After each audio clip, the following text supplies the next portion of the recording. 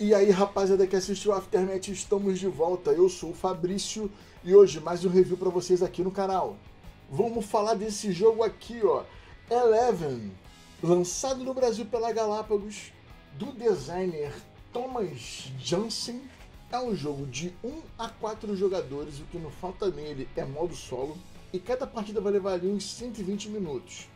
Ele está categorizado como jogo expert no Ludopedia, e as mecânicas são campanha barra batalhas dirigidas por cartas, rolagens de dado, cenário missão campanha, colecionar conjuntos e compra aberta de cartas. E qual é a pegada do jogo? Eleven, 11. O que, que é 11? O melhor esporte do mundo, o futebol. Né? E qual é a pegada do jogo? Você vai ser um administrador de futebol. Né? Já, já teve um jogo que você é o torcedor e agora você é um manager. Você gerencia um time de futebol tem que saber lidar com a diretoria, com a sua equipe técnica que você contratou, com os jogadores e com a torcida. E ainda escolher patrocinador, fazer desenvolvimento de estádio, ou seja, um futebol manager na versão de tabuleiro. Se você é das antigas, jogou L-Foot, jogou Futebol Manager, dormiu, dormiu, não sei das quantas, agora é a hora de você ter essa versão em tabuleiro. Mas antes de mostrar regras e o jogo, quero te falar o seguinte: nós temos um plano de apoio no PicPay e no LivePix. Na descrição do vídeo tem um link para os dois para você poder fortalecer a nossa criação de conteúdo. Não só o tempo que eu gasto editando, como as viagens que eu faço, as idas às lojas para poder gravar, criar conteúdo diferenciado. Então é muito importante esse apoio de vocês via PicPay ou LivePix. E lembrando que assim que você apoia você vai estar participando de um grupo exclusivo no WhatsApp para bater papo comigo e de sorteios mensais que eu faço para quem é apoiador desses dois tipos, desses dois modos, né? do PicPay e do LivePix. Então vai na descrição do vídeo, cogita aí pegar um desses links e fortalecer nossa mensalidade aí, né? Nosso mês a mês de trabalho aqui no canal. E eu quero agradecer nossos patrocinadores regulares, a Távola Games, essa loja online irada, onde você vai comprar com toda a tranquilidade do mundo. A Márcia vai embrulhar com todo carinho e despachar para todo o Brasil. E a Grula 3D, que está sempre inovando, procurando coisas novas para o hobby. Agora, além de imprimir componentes para deixar bonitão em cima da mesa, tem adesivo para atacar naquele nipple feio e deixar ele bonitão na hora que você for jogar e tirar aquela foto para botar no Instagram. Na descrição do vídeo tem um link para todos eles, vai lá dar moral para quem dá moral pro canal. Se você é novo por aqui, já se inscreva, dá aquele joinha da confiança. Partiu o bloco 2. Então vamos lá, rapaziada, vamos pro bloco 2 do Eleven. Aqui já está separado os jogadores que você pode contratar, né? Os novatos, os jogadores mais ali mais velhinhos já que estão para se aposentar. Aqui para você poder contratar para sua equipe e os patrocinadores aqui embaixo. Cada jogador vai ter esse conjunto aqui de tabuleiros, onde você tem sua equipe, diretoria, né, e os seus incomes, o que você vai receber, a sua formação do time, com os jogadores que você já começa, e a sua formação, e aqui o seu estádio. Esse jogo é bom porque todo mundo tem estádio, beleza? Ninguém precisa pagar aluguel, ninguém precisa falar que usa os estádios dos outros, cada um tem seu estádio. E você já começa aqui ó, com dois arquibancadas e dois outdoor e pode fazer o upgrade que eu vou explicar para você. No início do jogo, são quatro técnicos que são sorteados e cada técnico tem dois lados. Você escolhe qual lado que você quer usar. E rola um draft da diretoria. Cada um vai começar com três diretores. Esses diretores vão ficar com você até o final do jogo. A única coisa que pode mudar é a equipe que você pode contratar novos treinadores para cada fase, né? para cada é, é, especialidade do seu time e você colocar aqui embaixo. Então vamos lá, o jogo ocorre de segunda ao final de semana. Né? A segunda você vai ter a fase de income, que você vai receber os seus recursos, que eu já vou explicar para você terça, quarta e quinta, onde você faz as ações normais e final de semana o seu time joga. Como é que você recebe aqui? Beleza? Todo jogador, né, toda a equipe vai começar no nível 2. Porém, a diretoria pode modificar isso. A minha modificou. Aumentou um de torcedor, aumentou um de operação e aumentou um aqui de poder físico. Então isso aqui é meu income. Dois dinheiros, três torcedores dois verdes de operação e quatro de preparo físico, que é isso que eu tenho aqui.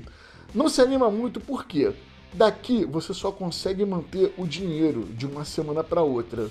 tá? Entre uma semana e outra, quando você fizer a fase de manutenção, você só pode manter um desses recursos, obviamente, como eu falei, o dinheiro fica, para manter para a próxima semana, tá? Existem cartas de equipe ou de diretores que mudam isso, que permitam que você fique com mais torcedores, ou mais operação, ou mais preparo físico de uma semana para outra. Mas a regra normal é, vai ficar só com um. Então não se empolga, porque gasta isso aqui, que você não vai poder manter isso de uma rodada para outra. Agora, para que serve cada recurso? O dinheiro, bem, é bem simples, né? Vai servir para contratar os jogadores. Todos eles aqui têm o um custo aqui em cima, no canto superior esquerdo de cada um deles. Vai contratar novos membros para a equipe ou fazer upgrades no seu estádio. Cada upgrade custa 3. Você vai pegar a plaquinha, vai colocar no estádio, ou fazer um upgrade do seu escritório ali. O vermelho são os torcedores. Os torcedores têm o poder de rerolar o dado da diretoria, que eu já vou explicar daqui a pouquinho como é que funciona. E outra é, os torcedores você vai alocar esses vermelhinhos nas arquibancadas. Eu só tenho duas arquibancadas ali. Na hora que eu for jogar, eu vou poder chegar aqui, ó, e colocar dois torcedores ali para torcer para mim e no final da partida isso vira dinheiro para mim, para eu poder guardar para a próxima rodada. Isso se junta, né? Vou pegar ali ó, mais dois dinheiros e fica comigo para a próxima rodada.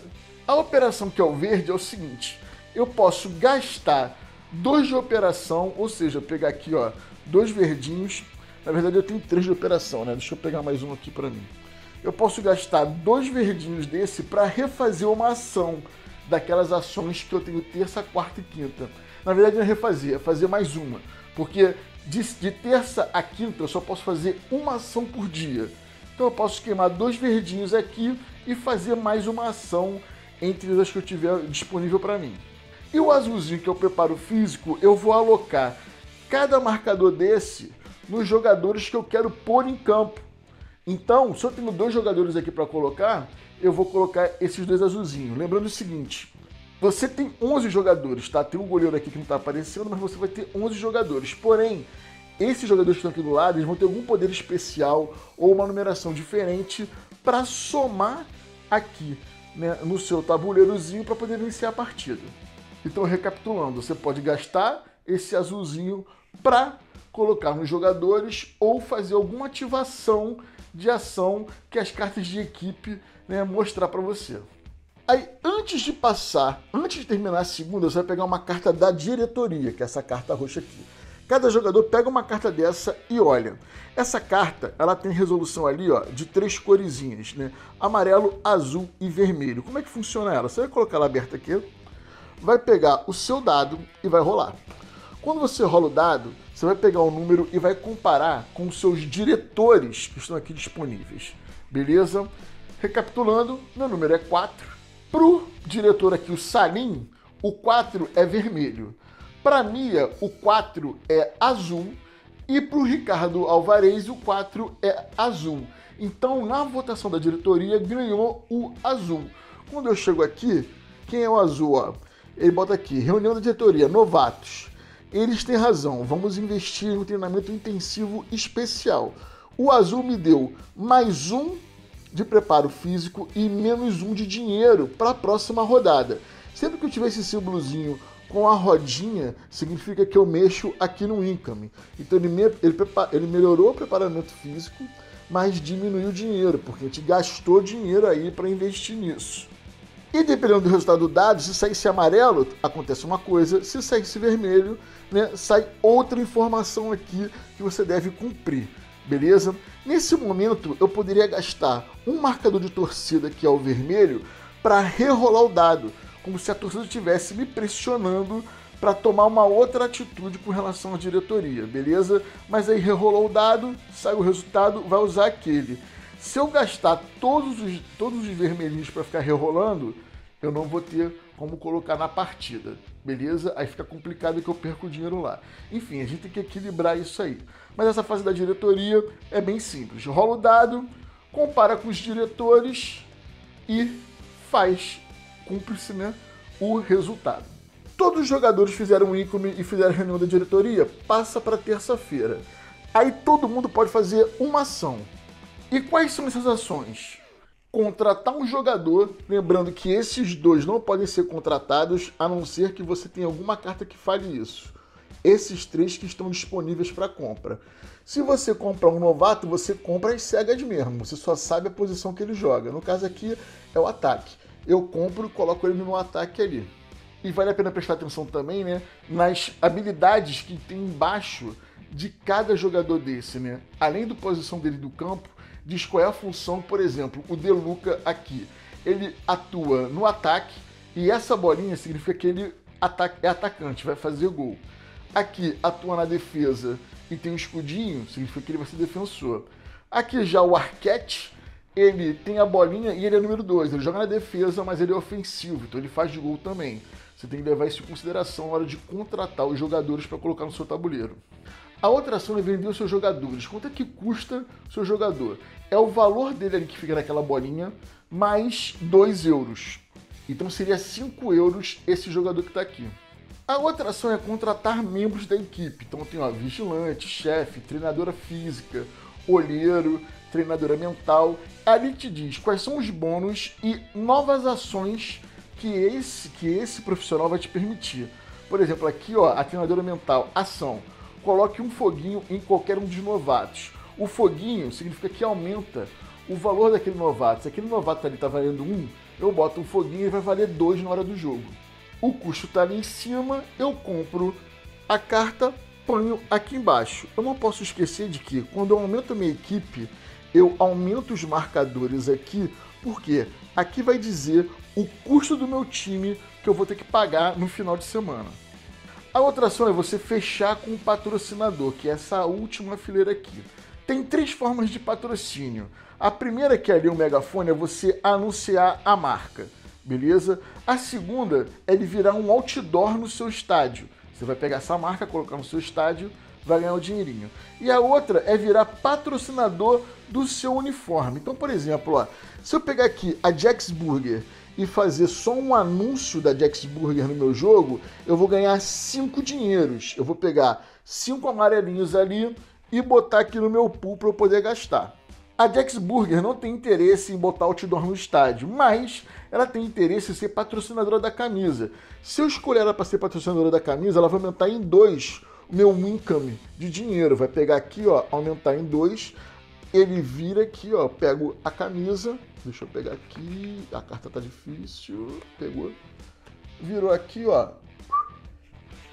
A Jack Burger vira patrocinadora da minha camisa. Ela vai ficar com a marca estampada na minha camisa para eu jogar. E aqui ele diz o que mesmo, deixa eu virar aqui, né? Que ele me aumentou em dois o income. Já aumentei lá, tá bonitinho, fica aqui a camisa, beleza. E a partir de agora, esse é meu patrocinador o jogo inteiro.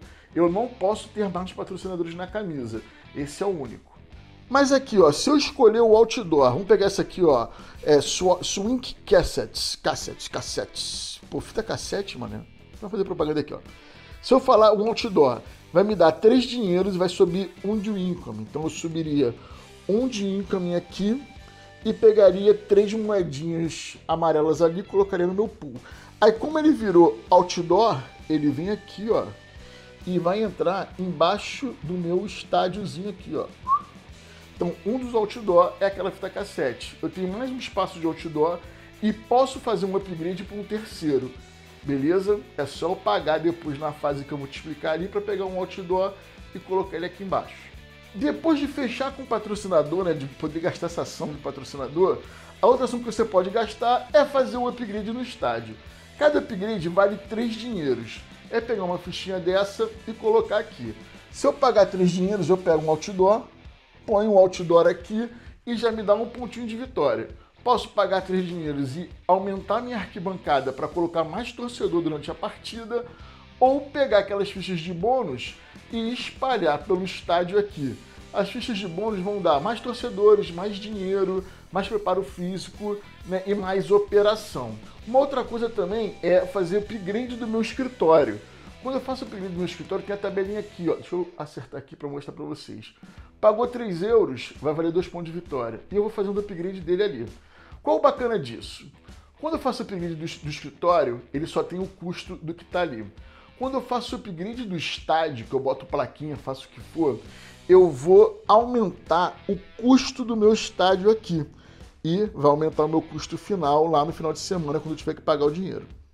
E o outro tipo de ação que eu posso fazer, eu já comentei com vocês, é se você tiver uma carta de equipe com a palavrinha ação, eu posso chegar, gastar aquela ação, né, gastar esse meu momento para virar essa carta e usar o poderzinho que tem ali, que é treinar um jogador. Qual o bacana desse treinar? O treinar, eu já vou botar uma fichinha azul em cima dele e eu pego ele e treino, que é virar ele aqui e colocar ele em jogo treinado. Isso aqui é muito bacana, beleza? Eu faço isso com vários jogadores. Ele aqui passa a ser o 7. Então vou pegar o 7 ele passa a jogar aqui para mim, já tem um númerozinho, e aqui diz o que, que esse jogador faz. Então, treinar é uma ação disponível que o seu treinador principal tem para pegar ali, melhorar os jogadores, botar eles para jogar de maneira melhor, beleza? Isso vai acontecer muito também com os jogadores que você contratar, que é colocar ali, esse aqui é o lado normal dele, quando você treina, ele é o lado boladão aqui, ó, te dá mais coisinhas durante o jogo. Então, ó, fez uma ação, todo mundo fez uma ação, passa para quarta. Todo mundo fez uma ação, passa para quinta. Todo mundo fez uma ação, final de semana o seu time vai jogar. No início do jogo, junto com os jogadores, você vai escolher né, a dificuldade da partida, do campeonato. Aqui eu escolhi a terceira divisão, que é a mais fácil para poder jogar, e ele me diz o relatório do Downtown United, que é o próximo jogo. Ele fala aqui para mim, ó, eles jogam no 4-4 no 4-4-2. Beleza, esse é um esquema tático. E a outra coisa que ele fala é, de acordo com a imprensa, esse time está em risco de rebaixamento. Eles não usam atacantes nem zagueiros perigosos, precisamos derrotá-los, ou seja, é um time fraco. Eu vou chegar aqui e vou montar. O meu 7, que é esse aqui, vale 2, e o meu 5, que está aqui, vale 3 pontos. Eu monto isso aqui do jeito que eu quiser. Vou deixar até desse jeito aqui, ó deixar um 9 atacante, um defensor aqui, o 2 atacando, um 8 defendendo, dois atacantes ali e tal. Por quê? Eu vou pegar essa carta aqui, vou virar e do outro lado ele me diz qual é a configuração desse time contra o meu. Então vamos lá, eu vou pegar a carta aqui vamos virar. Ah, pegou aqui, tá difícil de pegar a carta hoje. Hein? Beleza, pegou aqui, virou, aí você coloca aqui, é como você vai confrontar. Ali tem o goleiro, beleza? O nosso goleiro não aparece, mas você tem sempre um goleiro 1 um, para te ajudar a defender aqui. Então vamos lá, o que eu tenho que fazer? Eu tenho que comparar primeiro as duas alas e depois cada setor do campo aqui no meio, beleza? Ou seja, eu vou fazer cinco comparações. A ala direita dele com a minha ala esquerda. Eu tenho camisa 9, que é um valor só e tem uma bolinha, ou seja, só está atacando. E o meu 5 está defendendo. E o meu 5 defende, ó, 3, tá boladão. Aqui ele ataca com 1 um e defende com 2. O ataque de 1 um dele para na minha defesa de 3. O ataque de 2, a defesa de 2 dele para o meu ataque de 1, um, nada acontece. Nada fica tudo parado ali. Agora, desse lado eu vou começar a comparar. Agora vai ficar perigoso, porque ele tem 3 é, marcadores daquele lado e eu tenho só dois. Ele tem um de defesa, eu tenho o dois aqui que é um de ataque também, parou, nada acontece. Só que agora ele tem dois marcadores de ataque e eu tenho só um marcador de defesa com valor de um.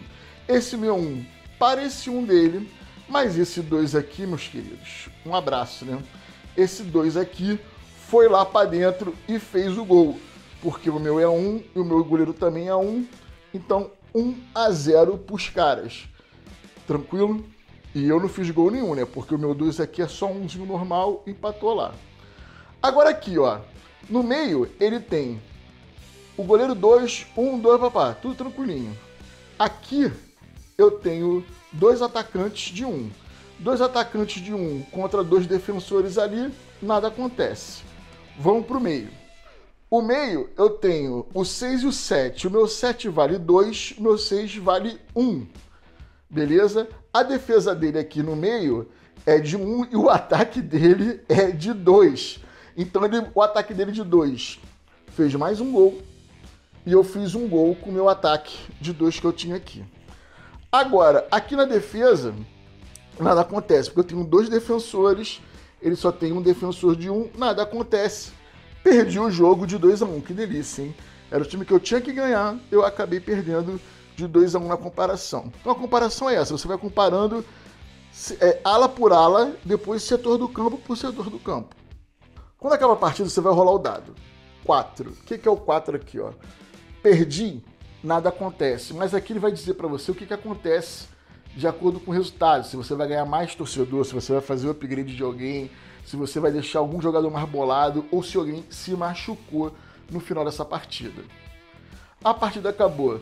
Eu tenho dois aqui na arquibancada, pego dois dinheirinhos, jogo para cá, né? Termina a, a minha fase de partida. Agora eu tenho que pagar o custo aqui operacional do meu time. É, tudo que está no verde vale um euro, e tudo que está no amarelo vale 2 euros. Eu tenho que pagar 4 euros. Beleza, eu tenho euro de sobra. Tinha dois aqui, mais dois de lá. Paguei, ficou de boa. Se você não tiver como pagar isso, você vai pegar um cartãozinho vermelho e amarelo que tem no jogo e vai distribuir um cartãozinho desse para cada euro que você não conseguiu pagar. Quando você faz isso, você vira seus jogadores e eles não podem atuar na próxima rodada.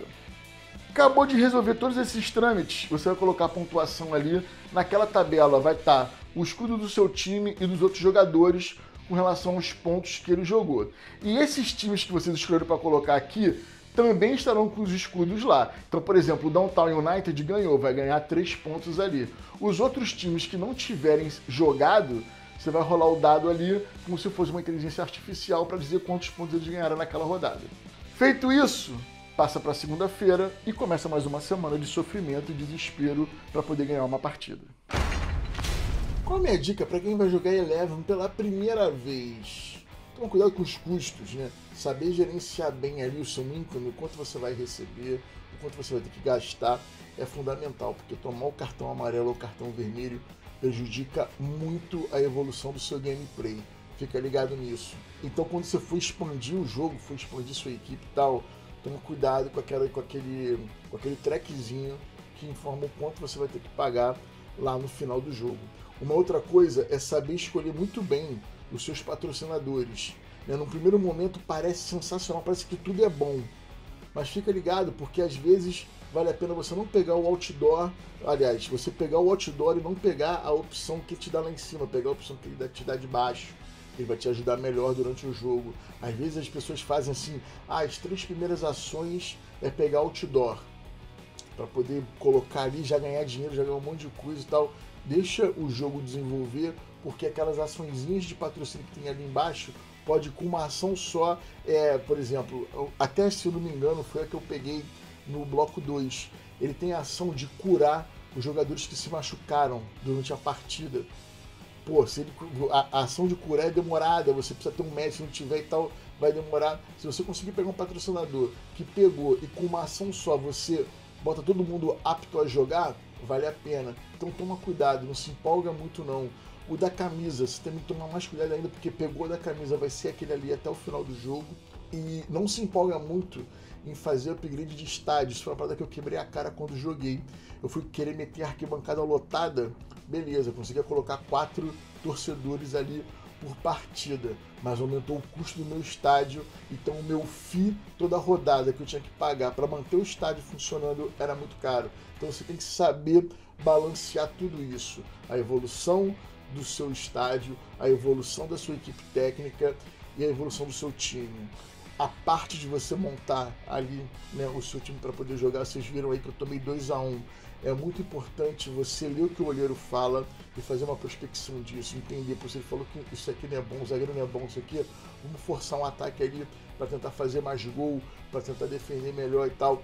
Enfim, tem que ler e com cuidado, né, saber ponderar ali. São seis rodadas, né? Você vai jogar seis semanas. Então não vai muito desesperado, vai tranquilinho. E agora o que eu achei do jogo? Para começar, minha nota é 8.6. Ah, Fabrício, mas você é fanático por futebol. Sou. Influenciou? Deve ter influenciado.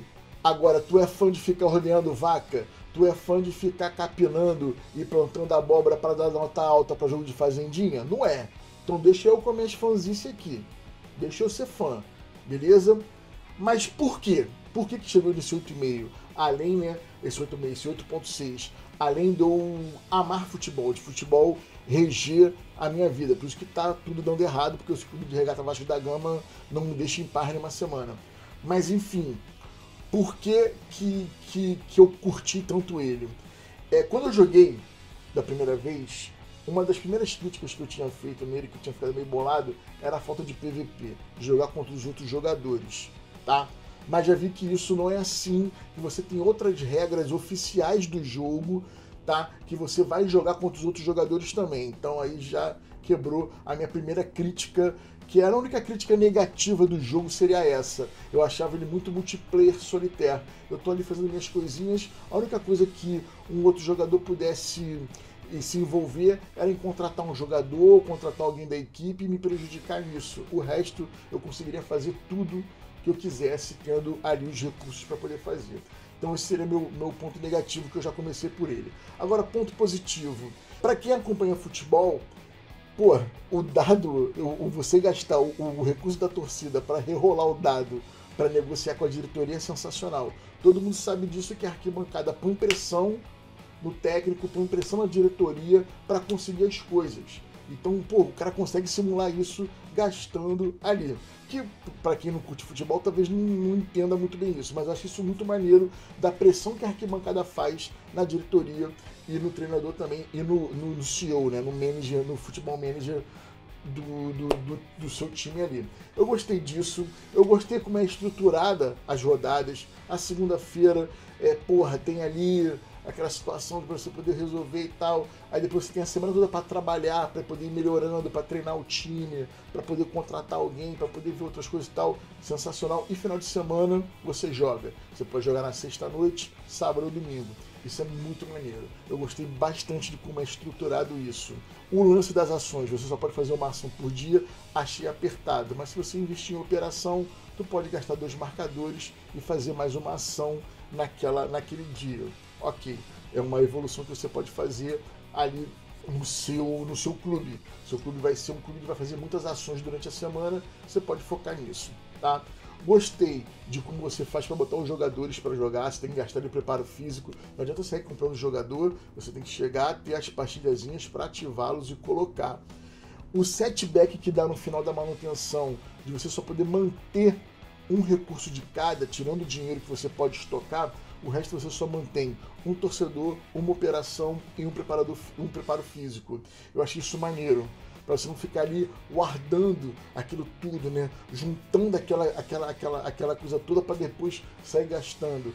E no futebol é assim, toda semana tá mudando. Né? Se o teu time ganhou, vai ter mais torcedor. Se o teu time perdeu, vai ter menos torcedor na outra. Então o jogo simula isso aí.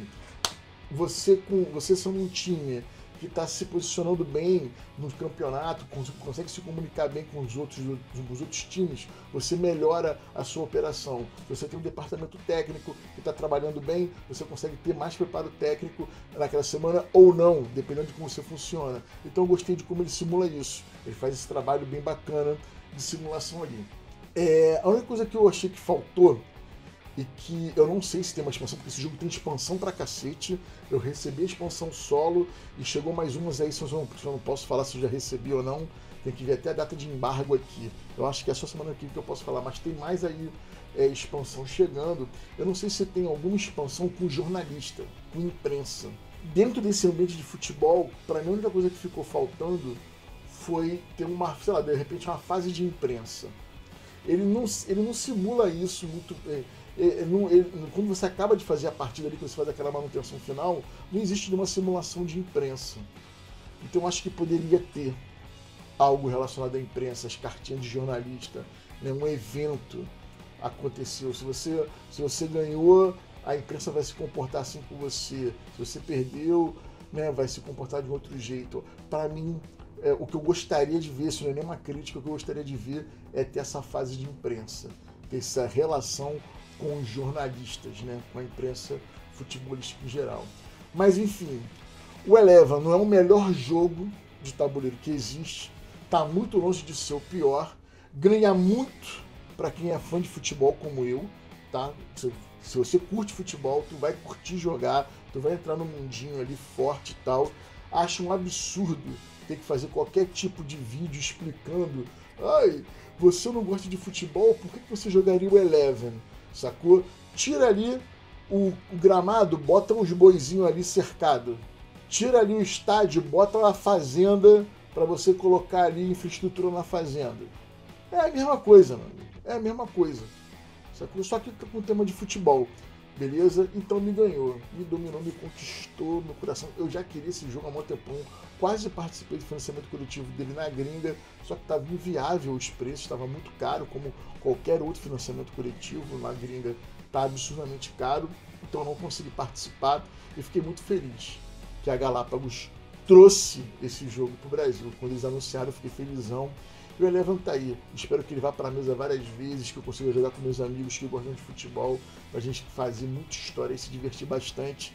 E que em algum lugar no futebol eu tenha alegria e pelo menos um pouco de paz, porque tá tenso.